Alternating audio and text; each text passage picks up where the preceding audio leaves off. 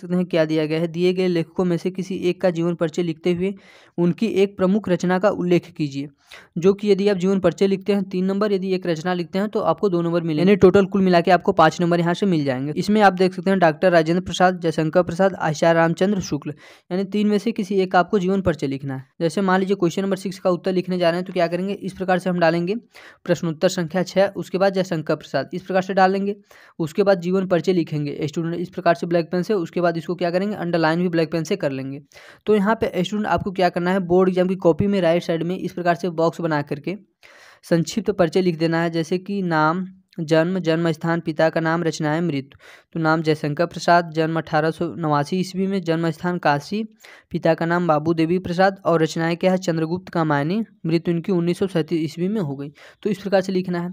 उसके बाद आपको क्या करना है? इस प्रकार से इनका जीवन परिचय लिख देना है, जिस प्रकार से हमने यहाँ पे लिखा हुआ है।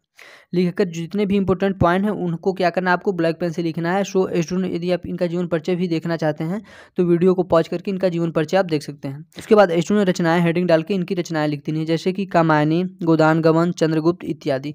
इस प्रकार से क्या करना है स्टूडेंट बोर्ड एग्ज़ाम की आपको कॉपी प्रॉपर तरीके से भरनी है, जिससे कि बोर्ड एग्ज़ाम में आपके अच्छे से अच्छे मार्क्स मिल सके।